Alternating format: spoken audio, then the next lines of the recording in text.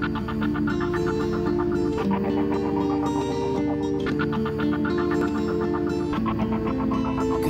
remember where I was in that moment, let alone who I was with.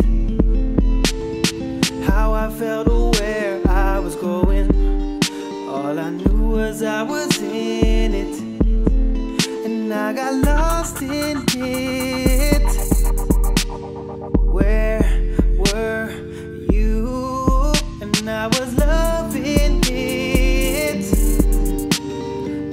love me back or not.